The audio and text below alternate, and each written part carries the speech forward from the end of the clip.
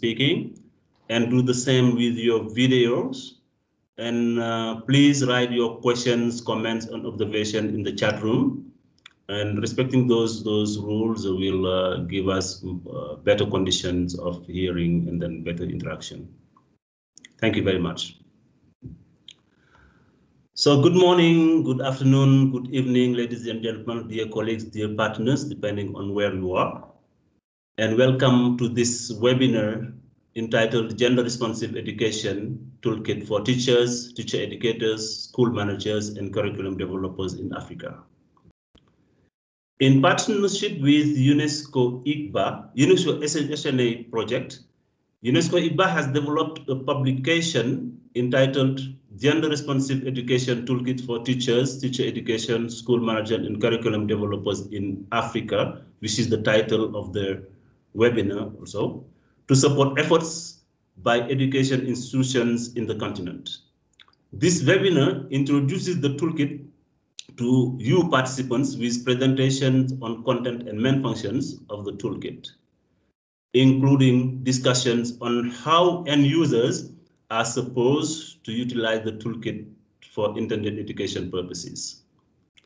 My name is Saliu Sal, and I am the Senior Program Coordinator of UNESCO IICBA, and I will be moderating this session with the following agenda. Uh, right after me, I'll be giving the floor to uh, Dr. Yumiko Yokozeki, who is the uh, Director of UNESCO IICBA for a welcoming speech. Just after her, the floor will be given to Mr. Solomon Andarge, Project Officer at UNESCO IICBA, who will be introducing the toolkit.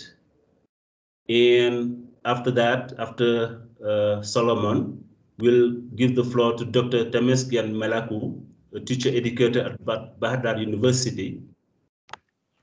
And uh, right after those two speeches and presentation, we'll have their uh, the questions and answers session, which will be moderated by uh, Dr. Temechegn Engida, Program Officer at UNESCO IICBA.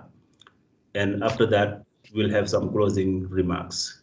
So thank you all for joining. And without further ado, I'm going to give the floor to Dr. Yumiko Yokozeki, Director of UNESCO IICBA. Yumiko, you have the floor. Thank you very much, Salu. And um, I can, I think we can still say happy International Women's Day. Um, thank you very much, colleagues, for joining us in this webinar which focuses on girls' education. And uh, this is the 25th anniversary of the Beijing Declaration in 1995. So this is a very memorable year. After 25 years of successive um, policy and programmatic efforts, globally female enrollment accounted for 55% of the total, an increase in primary and secondary enrollment. However, we are still lagging behind in the African continent, especially in sub-Saharan African countries. So in order to bring more girls into school and also to for these uh, young girls to achieve. Now in SDG, we are looking at uh, not only the enrollment, but also learning that the girl, if girls learn and achieve to make their lives with a lot of opportunities. That's where we are. But now, uh, what is needed is a pedagogy.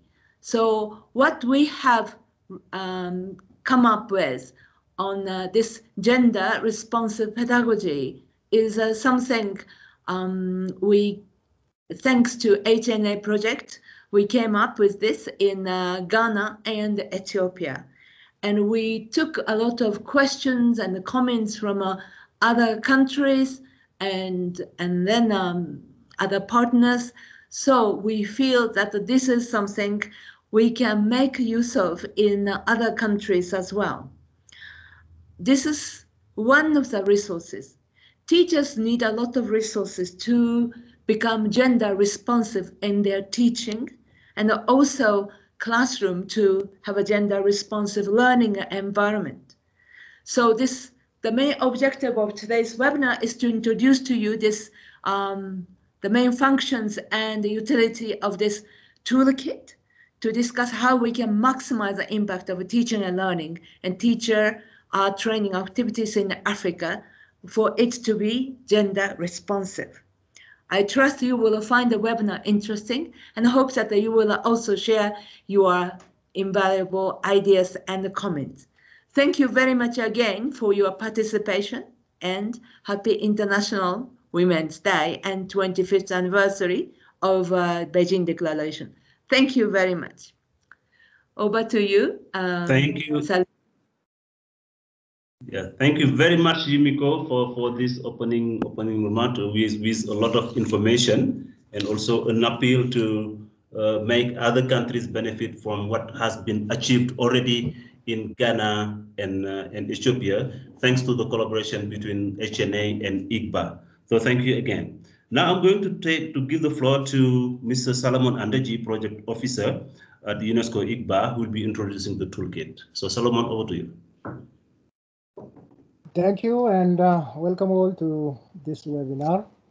My name is Solomon Andarge. I'm a project officer and UNESCO IICBA.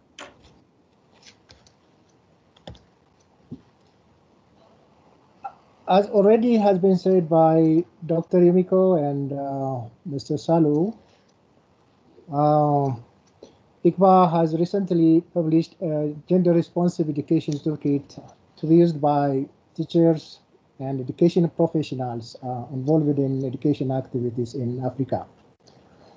Taking this as a background, uh, this webinar has two specific objectives, mainly. First, uh, by way of uh, launching this toolkit, uh, the webinar introduces the content and uh, usability issues to you participants.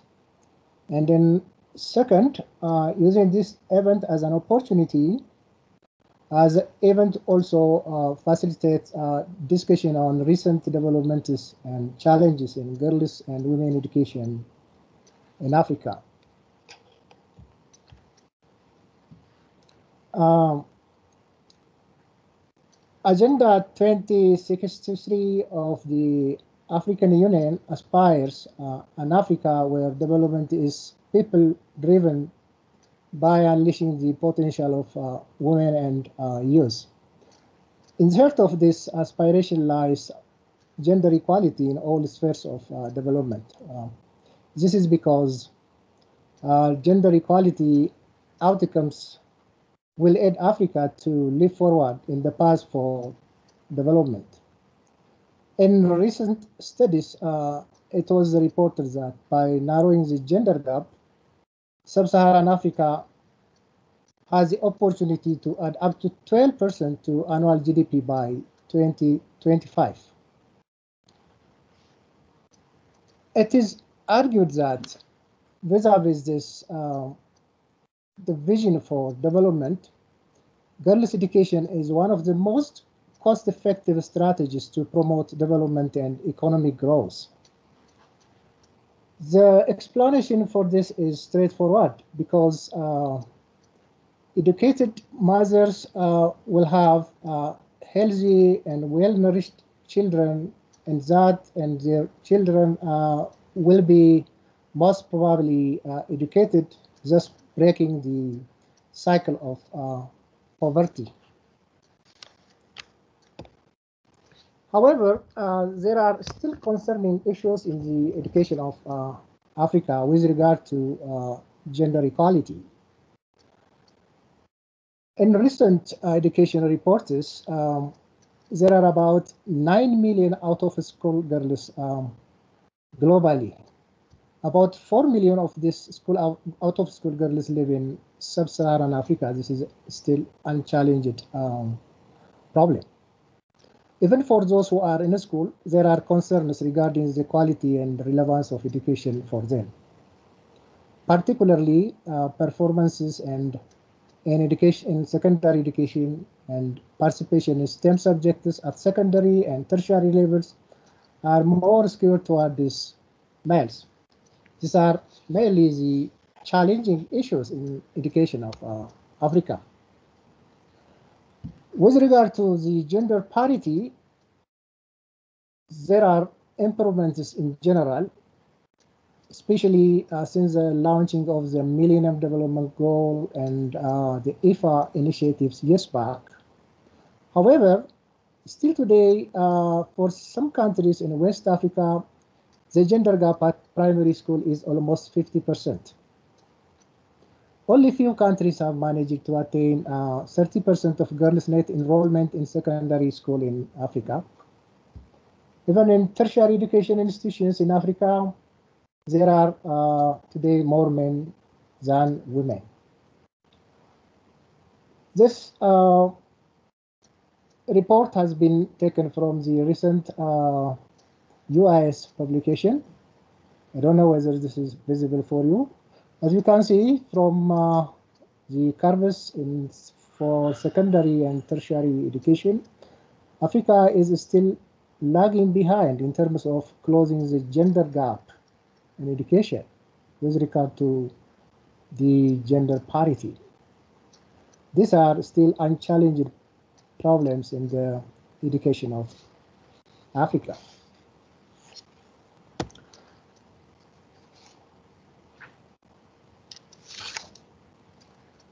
The reason for these challenges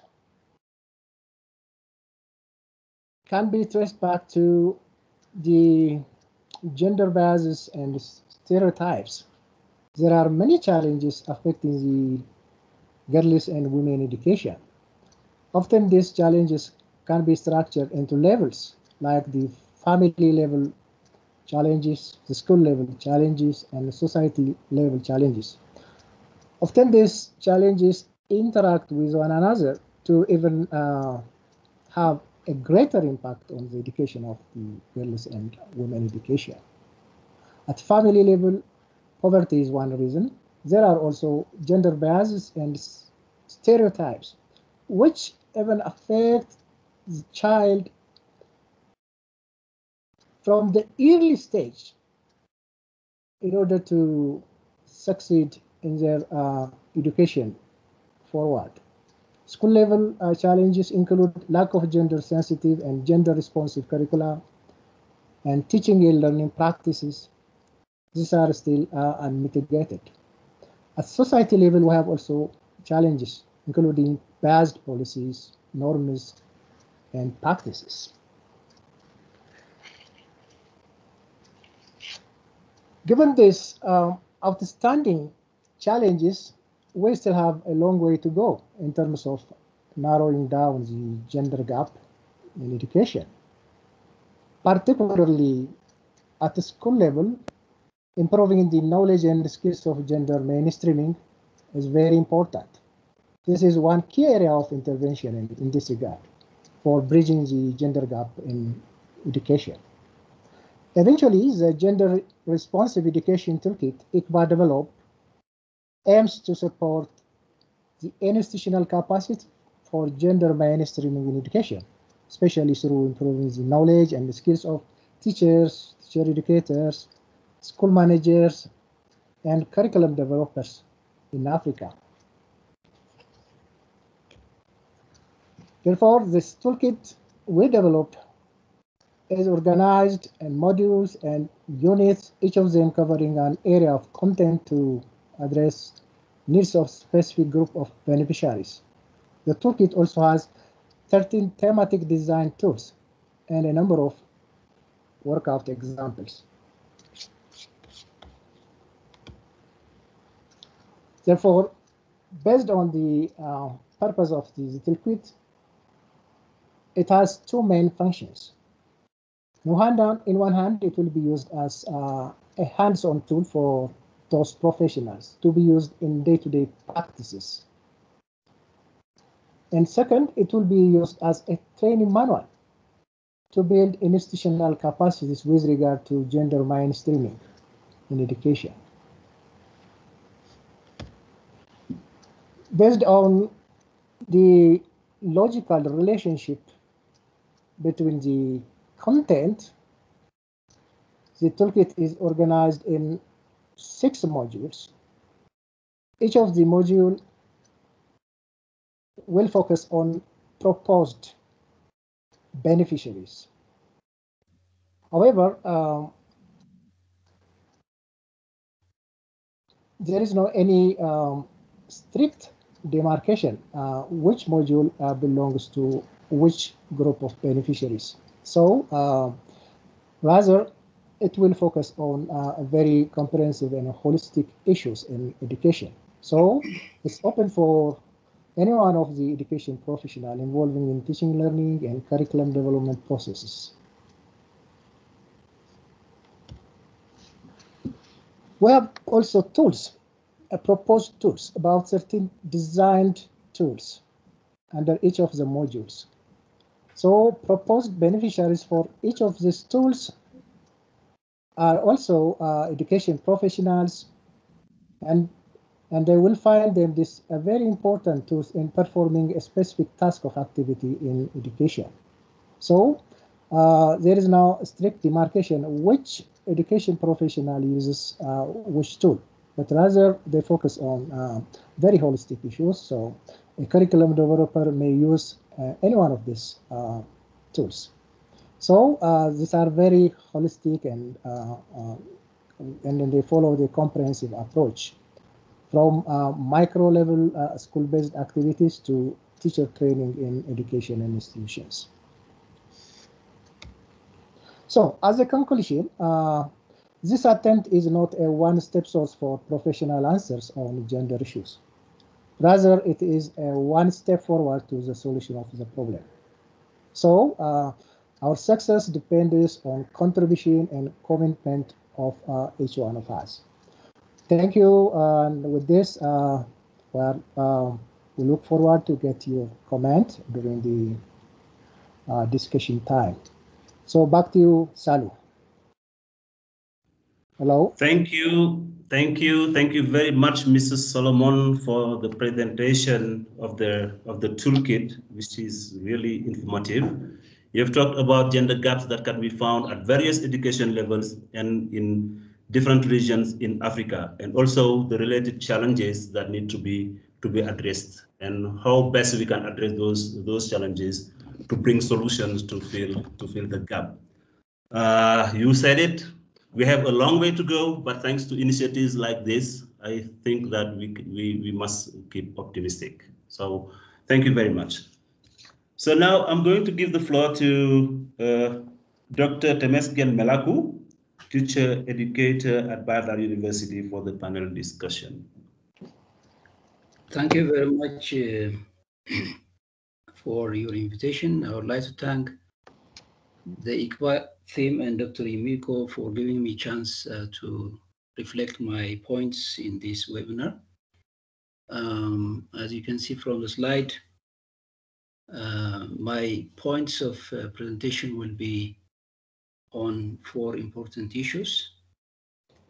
Uh, first, I would like to see what are the bases for developing this toolkit, what approach or what principle has been attended, uh, taken from the position of UN uh, institutions, and what are the progresses observed in relation to gender, and what challenges are there, and how does these uh, challenges are addressed by the toolkit uh, and what are the specific things included in the toolkit. And finally, my reflection on the link between the module contents and uh, perspectives and the background, uh, which will be presented in the first part of the presentation.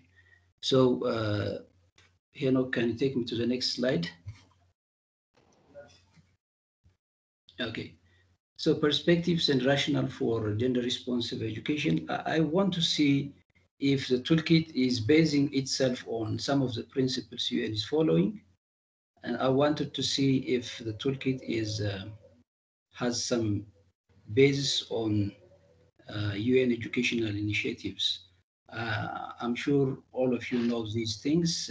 if I'm repeating what you, you already know, I ask um, apologies for that.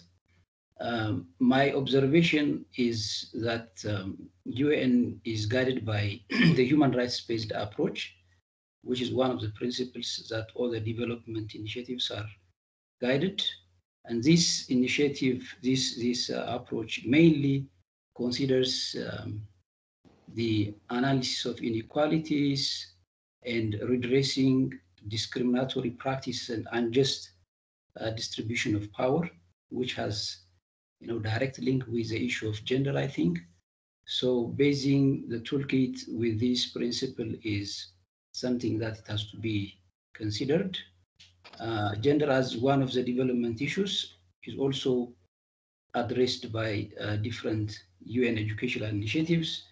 If we start from uh, what has been conducted in the first uh, attempt, that is the Education for All framework, um, gender equality was taken as an important issue to achieve uh, during that time. And later in the uh, United Nations, oh, the same time, I think the parallel time, the United Nations Girls Education Initiative also given high attention to the issue of gender. Uh, it recognizes that all children, girls and boys, have the right to learn in safe and um, conducive learning environment, which is an issue in improving the quality of education, especially for girls. The issue of safe and supportive learning environment is very important. So uh, this initiative is also an important indicator for um, the concern uh, that the toolkit has addressed. And later in 2015, uh, which is a base for the uh, Sustainable Development Goal, uh, Sustainable Development Goals, uh, has also uh, considered the issue of gender, and it has given much attention and included its goals like goal 4.1 and 4.5 uh, given attention for the gender issues. Um, so I, I, can say that um, the, the, the rights-based approach uh, is an important approach uh, that, to address the gender-related problems. And the toolkit uh, seems to give attention for this, this, uh, this approach. So there is um, a principle that backs up the development of the toolkit that I have understood from my attempt to review the principles used. Uh, in addition to this backup of the principles and approaches, researches also show that dealing with gender is an important uh, thing because it has a, a, great role in improving the life of girls themselves as well as the community and the society at large. So um, the effort of the toolkit dealing with the gender issue is also uh, supported by research uh, findings as well. Uh, to be more specific, I, I, I go through the SDG, SDG goal 4 with the target 4.1 and 4.5 these uh, targets are focusing on access to quality and equitable education. It deals with the issue of completion. Uh, it deals with the importance of ensuring learning outcomes. Especially 4.5 tries to eliminate, I mean, uh, disparities in all these. So the uh, goal 4.1 and 4.5, I mean the target for 4.1, 4.5 um, are you know important targets to be achieved over the coming uh, nine years or for uh, 2030. So still uh, the, the, toolkit is consistent with the development targets set by uh, the education initiatives of UN. There is consistency in the toolkit and the, the targets we have in 2030 education goals. Uh, the next slide. Um, although these efforts are made, uh, I mean, following these efforts, a number of uh, improvements have been observed. If you look at what uh, Mr. Solomon has presented, the disparities in many aspects has improved, uh, and many African countries and other members of the UN have made significant improvements in dealing with dealing with gender issues. But yet the data and some studies show that uh, even if uh, emphasis is given so much by different nations in the UN. And even if uh, promising progress are observed, there are still concerns uh, with respect to gaps in gender. And the reports also show that COVID-19 pandemic has um, increased the gap. Uh, so there, there are also other, uh, I mean, data and factors which show that there are still gaps, disparities in terms of enrollment, in terms of dropout, uh, in terms of uh, you know learning outcome, uh, which shows that the, the problem still persists uh, although efforts are being made. Uh, next slide, please. Henok. Next slide. Okay. Some, some of the factors uh, may be indicated by this uh, diagram. Um, if you look at uh, the data uh, and the different colors, the, the red and the, or, the orange colors, these, these colors show that the girls' disparity is observed at the disadvantage. I mean, disparity is observed as a disadvantage of girls. Uh, and most uh, African, Middle East, and Southeast countries, um, the, the, the, the parity is uh, in favor of male. Girls are still behind uh, the boys. Next slide. And if we look at the out, out of school girls as well, um, in, in Ethiopia and uh, most African countries, uh, there is a serious problem that girls are uh, out of school compared to more girls are out of school compared to boys.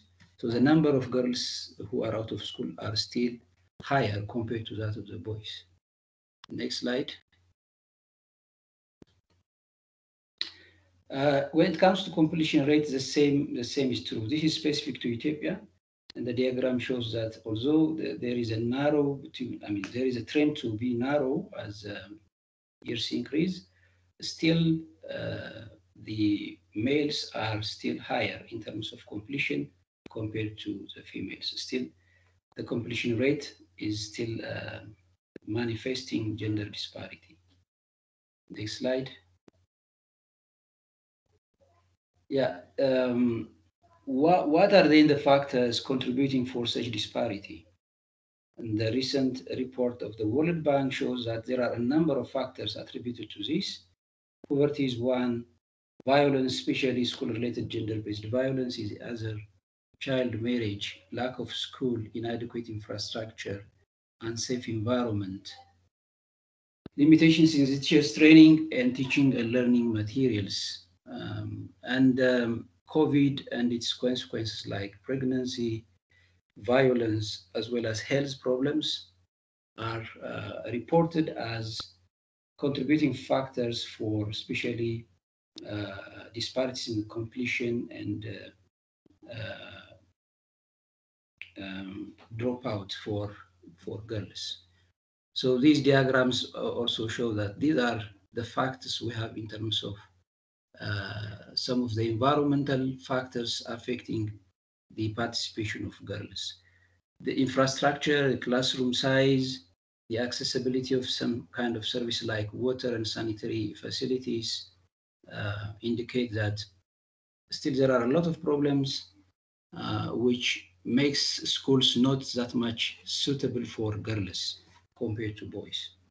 Well, I think the figures are very small to see, but the facts show that for example, uh, in this part, in the first African uh, map, uh, we can see that nearly 15% of schools in Ethiopia do not have toilets. And the second African map shows that the potable water access, 40 to 49% of uh, schools in Ethiopia do not have potable water. And these uh, services, these kind of facilities are serious problems that can contribute for possible disparities between boys and girls. So I think when, when we look at from the approach and the uh, factors uh, reported so far, the toolkit seems to address all these kinds of uh, issues in, in its contents. So I think there are adequate uh, theoretical and empirical evidence to justify the development of the toolkit. Next slide, please. So now let's look at uh, what the toolkit uh, deals with. Well, I, will not uh, take much time to, to deal on this one. Um, it has four purposes, which is already indicated in, the, in the toolkit. The first purpose is to guide uh, the day-to-day -day practice of uh, the relevant target groups for, for the toolkit. The other one is it provides best practice and promising approaches, new approaches, different approaches and practices uh, that also is an important part. Uh, it also can serve as a resource to the target groups for, for the toolkit. It can, it can be used as a training manual. It can be used as a guide to refer for in response to everyday practices. Uh, this in general will contribute to the development of uh, institutional capacity institutional capacity maybe in terms of improving the programs of the teacher education institutions, the programs of primary and uh, secondary education uh, curriculum, contents, and whatever. The, the capacity could be in terms of improving the practice of teachers, uh, the practice of people engaged in preparing curriculum materials. So developing the capacity of different actors um, is another purpose.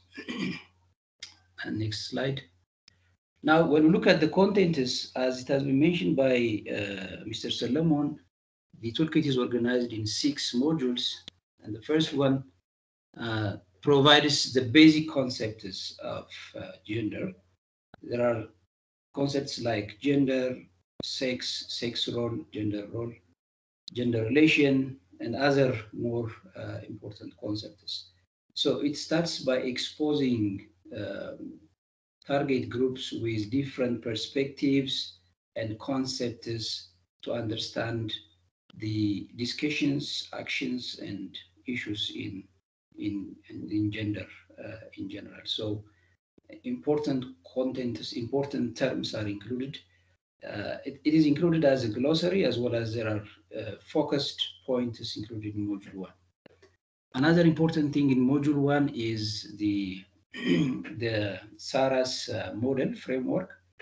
Uh, this is a framework that can help to analyze and address gender gaps, which is consistent with a rights-based approach as well. Uh, I think this framework fits to the approach I have discussed earlier.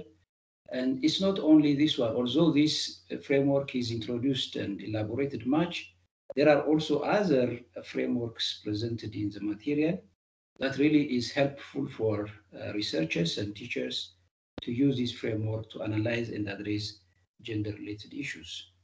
So I think module one provides basic issues to understand all the other parts of the module. Module two is dealing with uh, uh, the nature of adolescence and sexual maturity. Yeah, this is, I think, the part where teachers uh, educational leaders, curriculum developers should take into account uh, to, to give attention for what kind of needs do boys and girls have. Uh, in my uh, understanding, this is a chapter where we have to give attention to find out the needs of boys and girls. So uh, following the uh, development, the biological development, uh, there are a number of needs uh, that appear during this time that needs significant attention from the uh, the target groups. So this is a very important chapter, uh, which can help teachers to understand what is going on during this age, what kind of support they can provide for students. And this is also an important module that provides adequate information for the guidance counselors, school leaders, and curriculum developers to consider uh, their practices very well and address the needs of uh, boys and girls. Uh, the other one is um,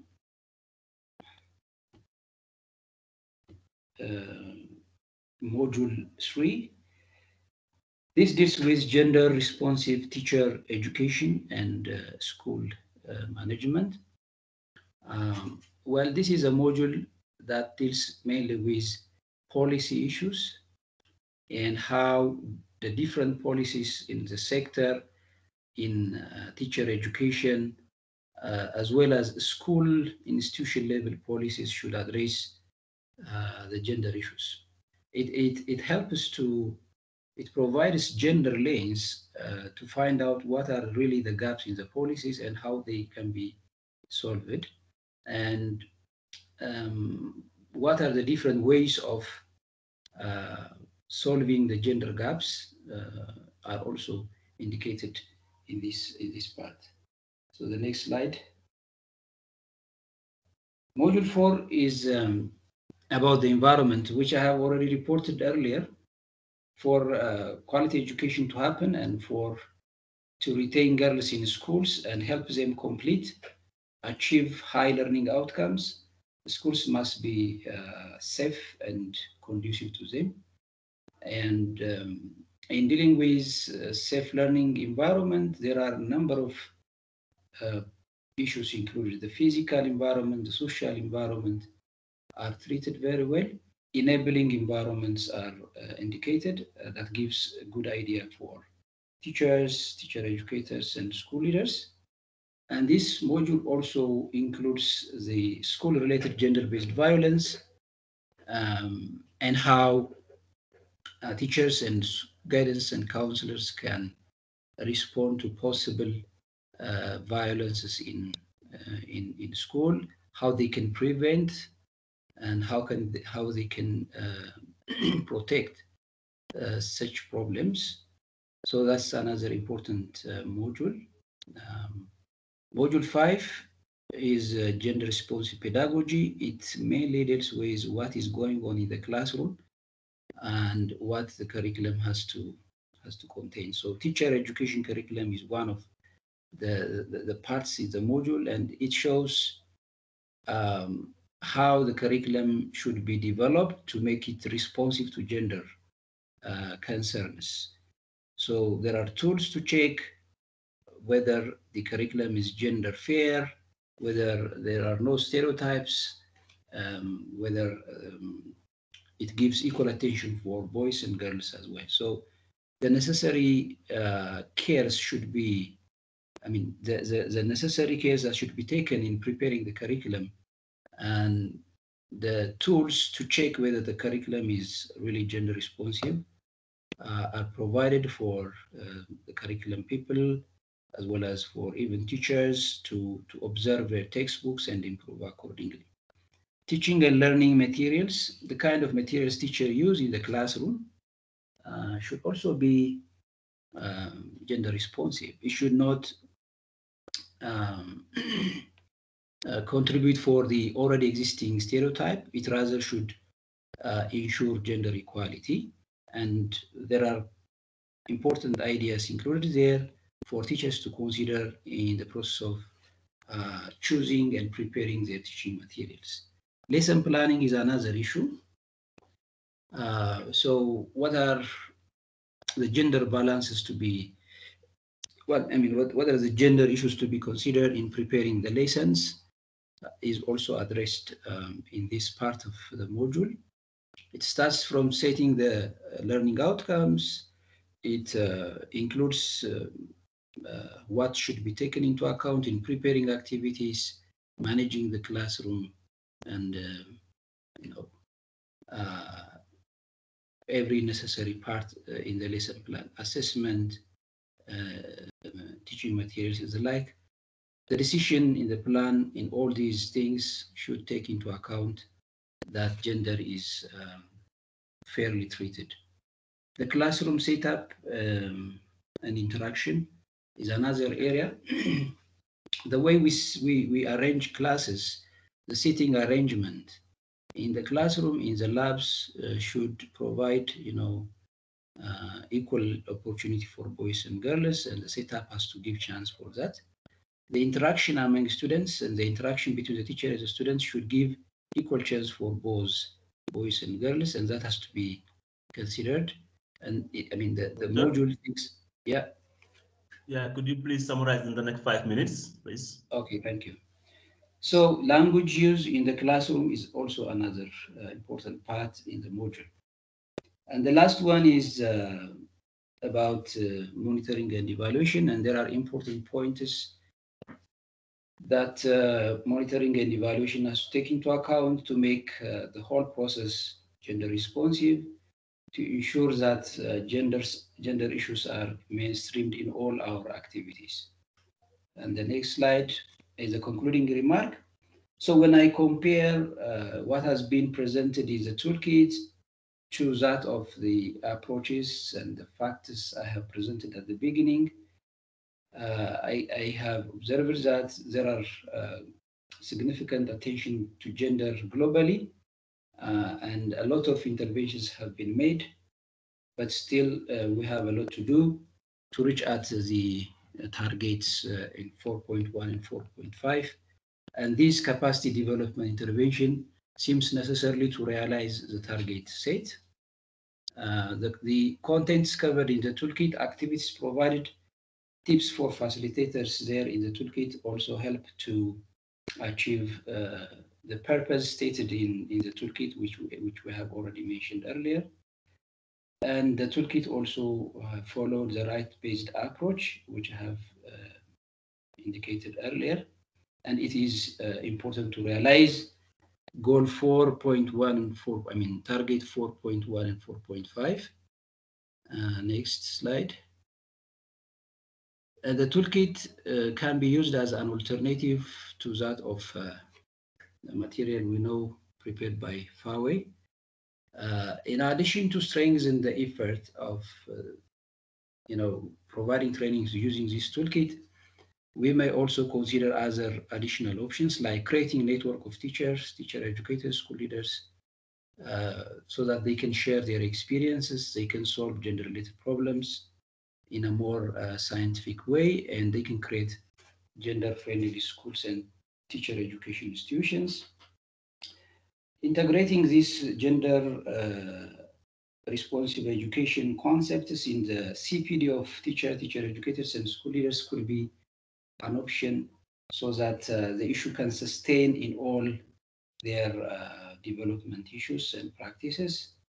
And maybe uh, for later revising and updating the toolkit with new developments and needs and considering things that are not addressed in this part is necessary. And that's all I have. Thank you. Thank you. Thank you very much, Dr. Temesgen Melaku uh, from Bahir Dar University. Thank you for having taken us through an analysis of the toolkit on the basis of SDGs, UN standards, and rights-based approach. And that analysis, we are happy that you did it with the lens of scientific, with uh, um, evidence and facts. Of course, it's difficult to do a thorough analysis in 10, 15 minutes, but you succeeded in doing so. And uh, probably questions that will be raised will enable you to give more explanation. Thank you very much. So now comes the time for the uh, question and answer discussion, which will be moderated by our colleague Temechegn Engida, Program Officer at UNESCO IICBA. So without further ado, I give him the floor. Thank you, Salu. Thank you, Solomon, and thank you, Dr. Temesgen, for the nice presentations. Um, uh, my role is to facilitate the question and answer session in the chat room. So far, there are only two questions. And if you have uh, other questions, please raise your hands or post it on the chat room. The first question uh, is, I think it's for Solomon. Hello, can you explain what you mean in the last slides by contributions from all of us? The second question is from our colleague, uh, Dr. Biniam. He first gives some, some context. Gender relations are closely connected to underlying cultural values and beliefs of the society we live in. This in turn means that our gender responsive initiatives have to be culturally contextualized to different countries and communities. Does the toolkit incorporate a section to elaborate this point? Does it encourage and give room for contextualized responses? So let's give answers first to these ones and uh, maybe Solomon first and then uh, Dr. Temesgen. Over to you. Um, uh, thank you, um, for the questions. Um, um, by contribution uh, means, uh, you know, um, this toolkit is is, uh, is, is just an attempt. It's uh, one step forward to to to you know to challenge the challenges in in, in the gender issues. But uh, rather, our commitment um, and contribution, even at the individual uh, level, is very important. So, uh, so we need to be uh, committed from uh, our heart. So we need to have an open mind and an open heart. So uh, we should always be ready uh, to act. So whatever um, we supply with tools and policies and so on, unless uh, there is uh, supported by uh, our commitments and efforts and individual level and, and group level, um, so uh, there will not be any fruit. That's what I mean by contribution. Maybe for the second question, I'll come after the um, Dr. Uh, Temesgen. Hello. Hello. So uh, thank you for, for the interesting question. Uh, it culturally responsive is, is a toolkit uh, gives room for cultural variations. I think that is a question if I have uh, understood it very well. Um, to my uh, observation, um, yeah, it provides the key issues to be addressed, um, but it also gives room uh, for participants to raise and bring what they are experiencing, what they are doing in their uh, respective uh, context and setup. So through the activities, I think we can give chance for participants to take what is happening in their local context. So it's, it's possible to contextualizing by inviting the participants to um, reflect on their uh, practices, reflect on their experiences. For example, if talk about gender role, um, the gender role may differ from country to country, from community to community, from culture to culture. But if there are activities that require participants to reflect what happens uh, in their locality in terms of the roles women and men are taking, that is a way to contextualize. So I think there is a adequate room to contextualize things uh, to the relevant cultural values. Thank you.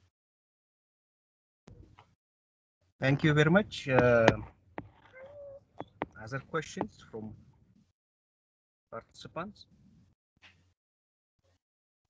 So maybe, Temechegn, if you don't have questions in the chat room, we can give the, the floor to, to, to participants who can talk live. Yeah, they can raise their hands. That's the only Yes. way. Yeah. Yes. Whoever would like to share a comment, question can raise their hand, please. In the meantime, when when others are thinking about it, may I may I may I start asking questions? Although I am part of the toolkit. Of course, go ahead, please. You can. Uh, uh, Solomon and uh, Dr. Temesgen, as both of you raised, the issue of uh, GRP was initially coined by FAWE, uh, the Forum for African Women Educationalists, and it has been it has been uh, I mean you know in existence there. Now our IICBA's toolkit is GRE, Gender Responsive Education. What is the key difference between GRE and GRP?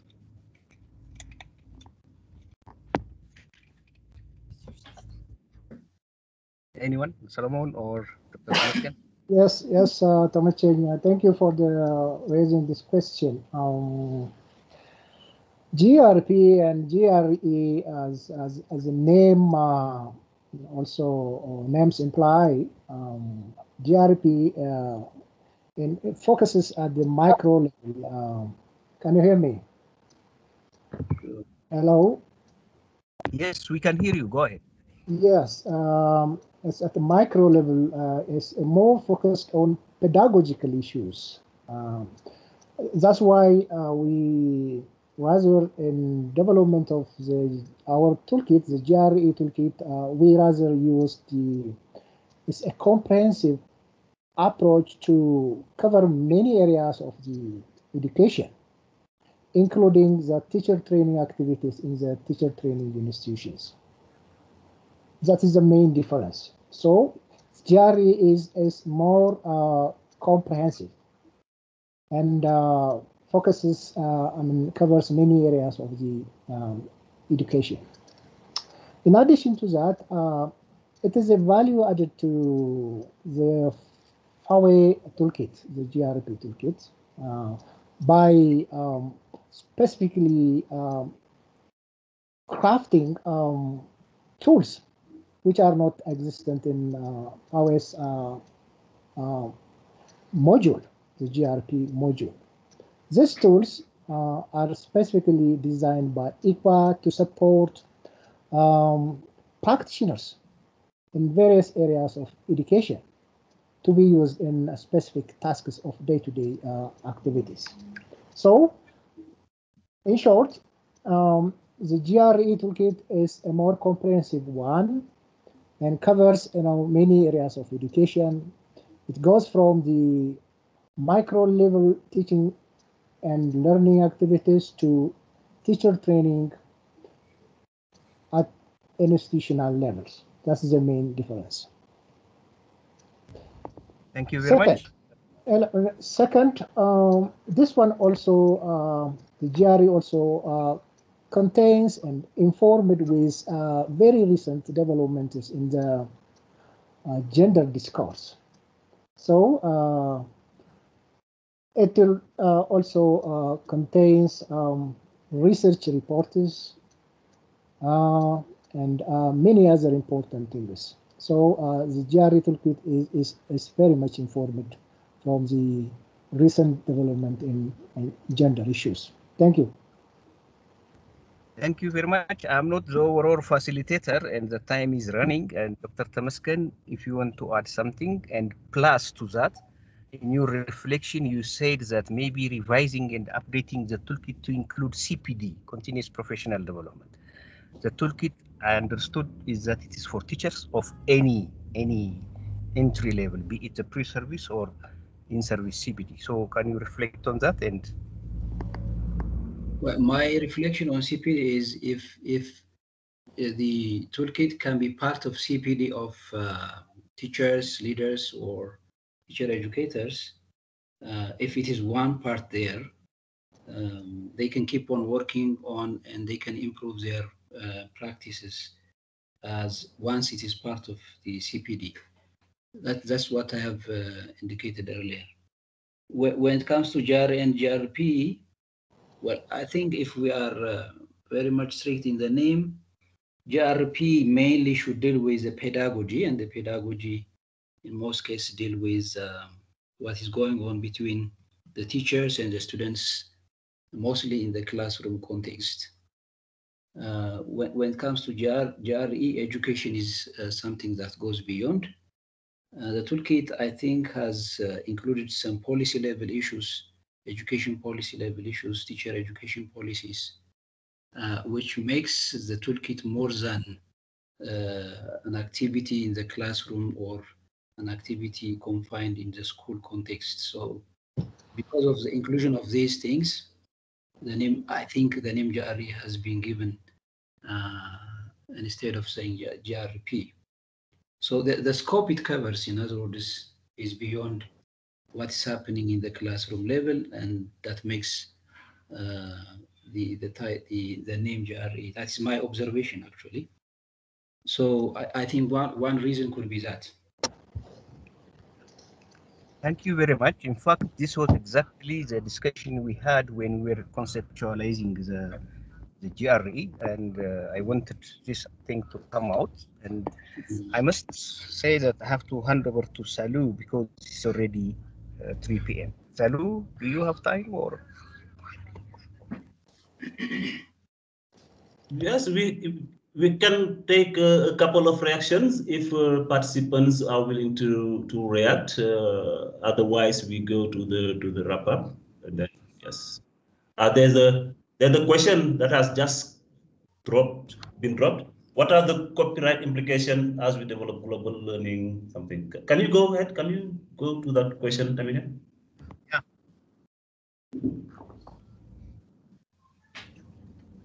Any one of you? Dr. Temesgen? Uh, I didn't get the, the, the, question. What was that? What are the copyright implications of uh, global learning CPDs for teachers in Nigeria? Are there any conditions of copyright issue mm. of the toolkit?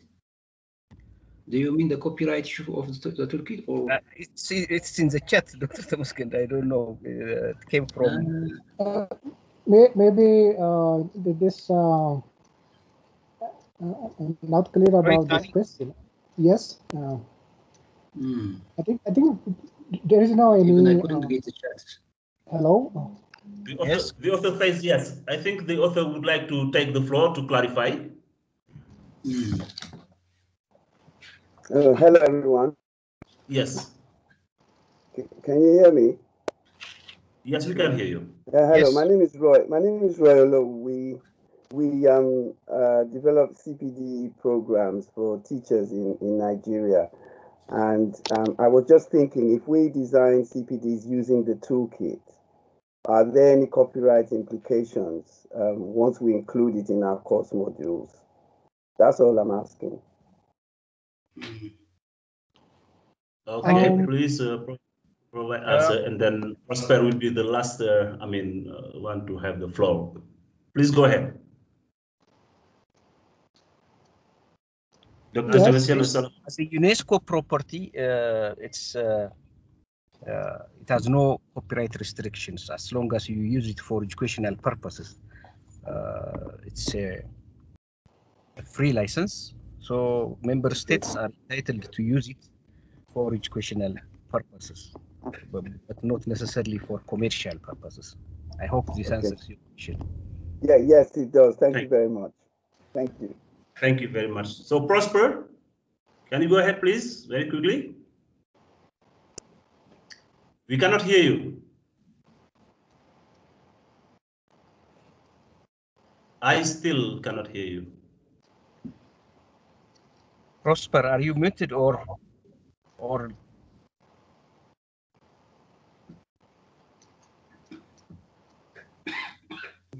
It doesn't seem to be working. Can you use the laptop, the laptop speaker, and remove the headphone? The system doesn't respond, I think. Prosper? No, we cannot. We cannot hear you, unfortunately. Okay. and we have come It to the. it would have been good if Prosper said something because he was part of uh, uh, the coordinator of the Ghana uh, HNA project. Yes. Yes. Can you can you hear me now? Yes. Yes. Now we can hear you. Please go ahead. I, I think I think my my my head uh, uh, it was the the power was down. So uh, quickly, uh, I thank you so much for the presentations. Uh, uh, I'm happy that this toolkit has come up again. I we were part of it com- uh, validation in Ghana. I just want a quick response from all of you. Um, for us in Ghana, what do you advise us as UNESCO as the, the best approach to use to make sure this toolkit is well is used properly in Ghana? Is it for in-service training or pre-service training? Which of which of them do you see as a good entry point? Uh, especially Solomon and uh, Temechegn, they have been in Ghana. They have seen our system. Uh, over to you. Thank you very much. Temechegn, Solomon. Yes. Um, thank you for the question, uh, Prosper. Uh, uh, this is a very important uh, question. Um, yes, uh, this requires um, the policy decision uh, at high level. Um, but uh, the toolkit is, is being prepared to support both pre-service and in-service programs, including the professional development programs for the teacher educators. Okay.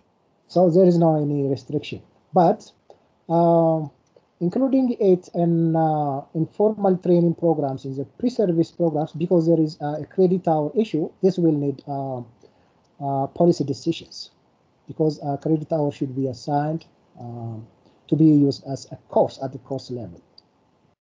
But uh, in terms of preparation, the toolkit uh, will be used for uh, training purposes for both pre-service teachers and in-service teachers, including the teacher educators. All That right. is uh, regarding the uh, training approach. Okay, thank Oh, you. Okay. Thank so you. we, we will explore which one is feasible. Uh, as you mentioned, the pre-service one is quite uh, policy and it could take a long time, but that is more sustainable actually.